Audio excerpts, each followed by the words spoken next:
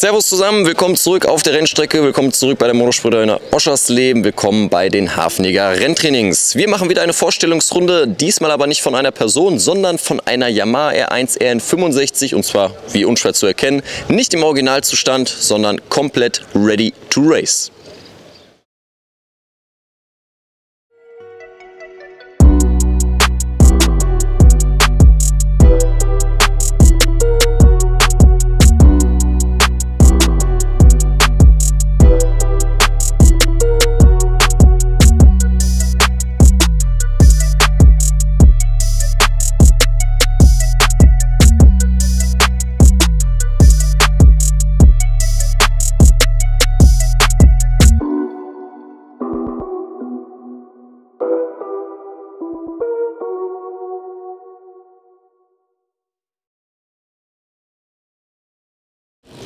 Ja, liebe Leute, Yamaha R1 RN65, somit das aktuelle Modell. Wie unschwer zu erkennen, haben wir als allererstes eine Rennverkleidung dran und zwar in Vollcarbon.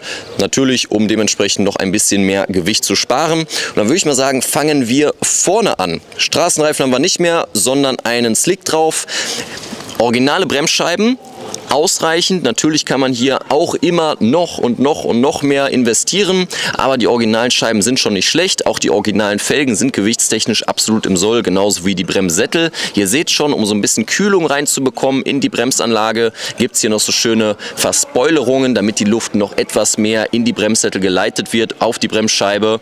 Und dann ist hier, wo originalerweise aus dem ABS-Block die Bremsleitung kommt, natürlich kein ABS-System mehr aktiv, sondern wir haben äh, Reflexleitungen verbaut, die auch schon Serie mit drin sind und eine Brembo Bremspunkte letztendlich zum Verzögern.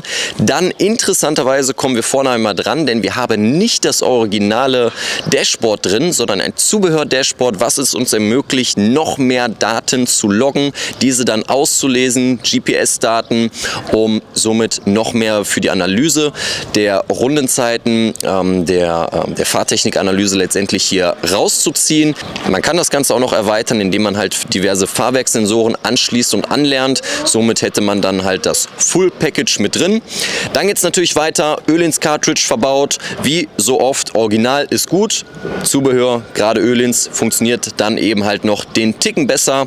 Und für die perfekte Ergonomie, andere Kupplung, andere Bremshebel, Lenkerstummel, die natürlich schön verstellbar sind. Genauso da für die Ergonomie wichtig, Zubehör, Fußrastenanlagen, wo man halt einfach im Vergleich zu zu den originalen Rastenanlagen die Möglichkeit hat, die verschiedenen Positionen letztendlich einzustellen, mal ein bisschen zu variieren, ein bisschen höher, ein bisschen weiter nach hinten oder auch nach vorne oder nach unten und dann halt dementsprechend Fußrasten für den optimalen Grip, die eben nicht klappbar sind, sondern starr. Dann haben wir ein paar Schoner mit dabei, fängt vorne an an der Achse, dann haben wir komplette Motorrad mit Motordeckelschonern und auch hier noch mit einem Achsschoner bzw. einem Schwingenschoner dementsprechend versehen. Und sturztechnisch ist es da auch immer wichtig, ein bisschen vorbereitet zu sein. Natürlich sehen diese Schalteinheiten, die wir links und rechts am Lenker sehen, sehr, sehr schick aus. Aber auch im Falle eines Sturzes halten diese halt einfach, weil sie halt aus gefrästem Material sind, deutlich länger wie die Plastikbauteile. Ähm, das ist dahingehend einfach deutlich sinniger für die Rennstrecke, genauso wie das Entfernen des Zündschlosses. Ja, wir sparen uns nicht nur Kabellage, wir sparen uns nicht nur Gewicht, sondern auch rein technisch gesehen ist das Ganze halt einfach viel sauberer verbaut, weil dementsprechend die Wegfahrsperre einfach weg ist und somit auf Knopfdruck das Motorrad hier bereit steht zum Starten. Zubehör-Tankdeckel ohne Zündschloss. Erklärt sich, glaube ich, auch von selbst. Wenn wir kein Zündschloss oder keinen Schlüssel mehr zum Starten brauchen, dann entfällt das Ganze hier auch bei der Tankaktion. Weiter hinten findet sich dann logischerweise passend zum Cartridge der Ölins Dämpfer, TTX-Dämpfer hier verbaut. Auch da ist man halt einfach viel freier in seiner Abstimmungsarbeit. Man kann viel feiner das Ganze einstellen, nicht nur in der Vorspannung, sehr, sehr einfach, sondern auch in der Länge, wie auch schon das originale Federbein. Zugdruckstufenverstellung erklärt sich, glaube ich, für die äh, Insider von euch ein bisschen von selbst. Auch die Feder ist relativ schnell gewechselt. Das Übersetzungspaket, was wir hier zur Linken sehen, ist natürlich auch nicht das originale. Kette, 520er Teilung, kürzeres Ritzel, kürzere Kettenräder hinten und dementsprechend sehen wir auch schon, ähm, um das Ganze in der Länge ein bisschen besser einzustellen, gerade wenn man mit den Übersetzungen ein bisschen spielt, auch andere Kettenspanner und auf der anderen Seite sehen wir dann auch eine Schnellwechselanlage, weil das Hinterrad wird natürlich öfter mal getauscht. Das Ganze soll vielleicht auch mal schnell vonstatten gehen, wenn es mal eben anfängt zu regnen, um da mal schnell zu wechseln oder einen frischen Slick reinzumachen, dann ist das Ganze halt noch um ein Vielfaches einfacher.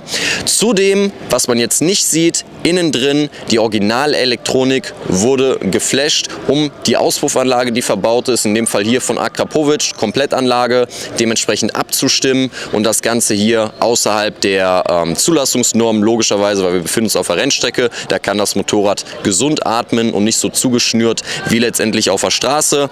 Zudem hat man durch die Abstimmung der Kit-Elektronik bzw. der geflashten Elektronik hier in diesem Fall die Möglichkeit, Traktionskontrolle, Motorbremse etc. pp. alles viel feiner, viel genauer abzustimmen, sich dort ein bisschen mehr mit der Abstimmung noch auseinandersetzen zu können und am Ende des Tages das auf seine persönlichen Bedürfnisse abzustimmen.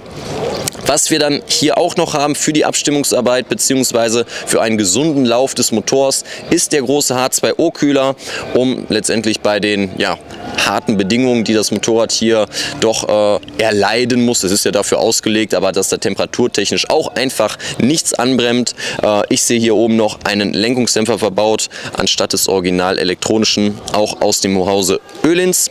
Und ja, das soweit einmal kurz und knapp erläutert, was es so alles hier an dem umgebauten Motorrad von Matthias Hoppe, von unserem Fahrer aus der German Motor Masters, äh, letztendlich alles so zu sehen gibt. Spannendes Thema, wenn es euch weiter interessiert, was man alles so an einem Motorrad machen kann, was das Ganze kostet, dann gerne mal bei borny.eu melden. Und bis dahin freuen wir uns erstmal auf den guten Mann hier in der Startaufstellung. Jetzt stellt sich die Frage, welches Renntraining ist für dich das Richtige? Wir haben verschiedenste Rennstrecken im Programm und natürlich auch verschiedene Eventcharaktere. German Motor Masters Events, ja, Rennsport ist natürlich auch für schon sehr, sehr schnelle Fahrer geeignet, aber auch für Einsteiger haben wir natürlich genug im Programm. Von der Rookie-Schule, Gruppeninstruktion, normales freies Fahren. Ja, einfach mal auf der Homepage informieren, wenn Fragen aufkommen, gerne bei uns melden. Und sonst zählt grundsätzlich der Leitsatz, wer schon sportlich und sicher Motorrad fährt, der kann auch ganz normal an einem normalen Renntraining teilnehmen, denn letztendlich haben wir hier eine abgesperrte Strecke ohne Vorfahrt, ohne Ampeln, mit perfekten Streckenbedingungen und einer schönen breiten Straße. Von daher freuen wir uns, dich bei uns begrüßen zu dürfen. Wenn Fragen aufkommen, melde dich wie gesagt gerne. Würde ich sagen, bis bald.